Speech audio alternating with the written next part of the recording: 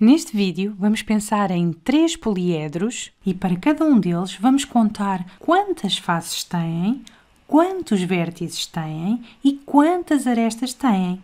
Em qualquer momento do vídeo que o entendam, parem e tentem vocês fazer estas contagens individualmente. Vamos então começar por pensar num cubo. Temos aqui um cubo que vamos considerar e para facilitar as nossas contagens vamos representá-lo aqui um pouco maior. Vamos então começar por contar as faces deste cubo. Quantas faces tem?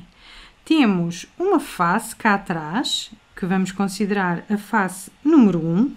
Depois, se pensarmos na face que fica aqui deste lado esquerdo, vamos considerar esta a nossa face número 2. Temos ainda uma terceira face que está aqui do lado direito, Vamos dizer que esta é a face número 3.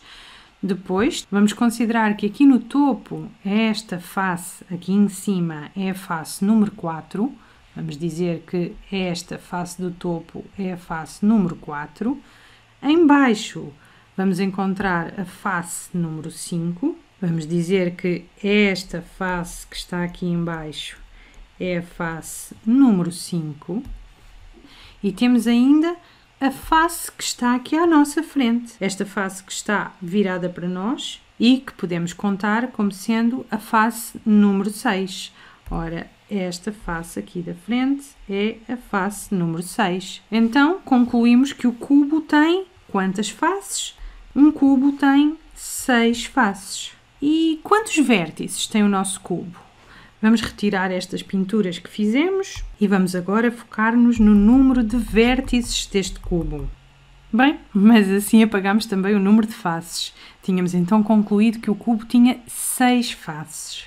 Vamos então agora olhar para os vértices. Ora, os vértices que aqui temos são 1, 2, 3, 4, 5, 6, 7, 8. Temos 8 vértices oito vértices. E arestas? Quantas arestas tem este cubo? Vamos também contá-las. Temos uma aresta, duas, três, quatro. Depois, aqui na base, outras quatro. E ficamos com cinco, seis, sete, oito. E faltam-nos ainda estas quatro que estão na vertical. Nove, dez, 11, 12. Temos então 12 arestas e terminamos as contagens que pretendíamos para o cubo. Vamos ver outro poliedro. Então agora temos uma pirâmide e vamos novamente começar por contar o número de faces desta pirâmide. Temos aqui uma face que quase não a vemos. Depois temos uma face que se encontra aqui atrás temos ainda outra face aqui do lado direito, esta face aqui é a terceira face. Temos ainda uma face aqui embaixo, uma face que corresponde à base, e temos ainda uma outra face aqui à frente, esta aqui da frente. Temos então uma, duas, três, quatro faces triangulares, mais uma face quadrangular, cinco. Então, esta pirâmide tem cinco faces. Vamos apagar a nossa pintura e vamos registar que esta pirâmide tem cinco faces. E quantos vértices tem a pirâmide? Vamos contá-los.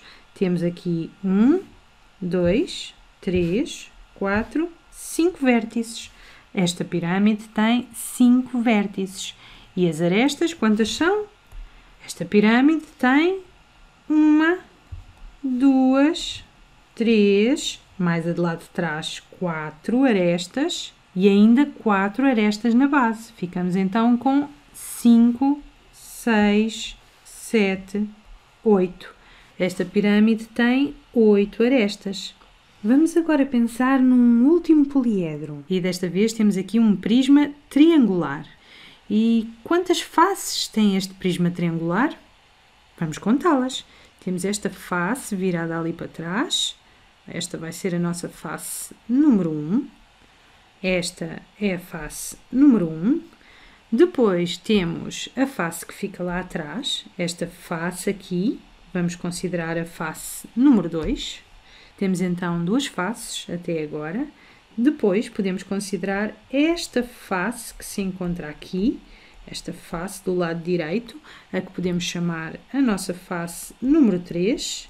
Temos ainda a face sobre a qual o poliedro está apoiado, digamos assim. Vamos considerar que esta é a face número 4 e temos ainda esta face aqui virada mais para nós, é esta aqui, e é que podemos chamar a face número 5. Temos então um total de 5 faces. Vamos apagar este esquema para podermos fazer as contagens seguintes e vamos então registar que este prisma tem 5 faces. Agora vamos contar os vértices. Ora, temos 1, 2, 3, 4, 5, 6 vértices. Este prisma tem 6 vértices. E agora, para terminar, vamos contar as arestas. Ora, temos aqui três voltadas para nós. Uma, duas e três. Outras três aqui atrás. Quatro, cinco, seis.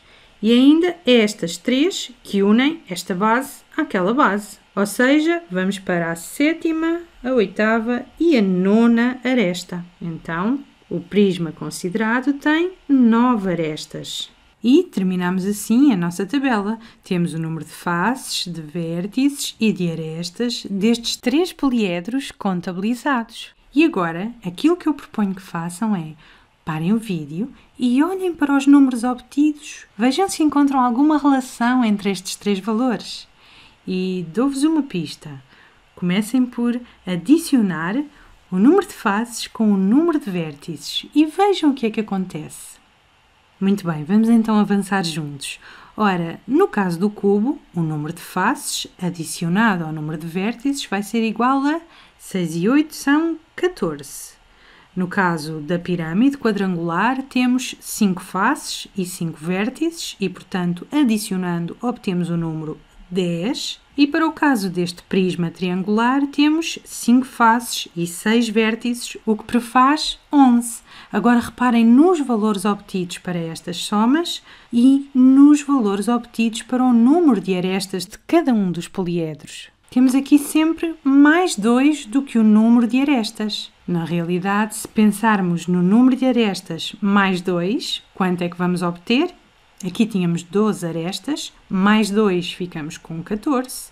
Aqui tínhamos 8 arestas, mais 2 ficamos com 10. E aqui tínhamos 9 arestas, mais 2 são 11. Então, o que é que estamos aqui a encontrar? Estamos a ver que para cada um destes poliedros, o número de faces adicionado ao número de vértices é igual ao número de arestas mais 2. E isto vai verificar-se para qualquer poliedro côncavo. O número de faces mais o número de vértices vai ser igual ao número de arestas mais 2. Esta é uma igualdade, é uma relação a que chamamos a fórmula fórmula fórmula de Euler, a fórmula de Euler, que nos diz que para qualquer poliedro côncavo, o número de faces adicionado ao número de vértices é igual ao número de arestas mais 2.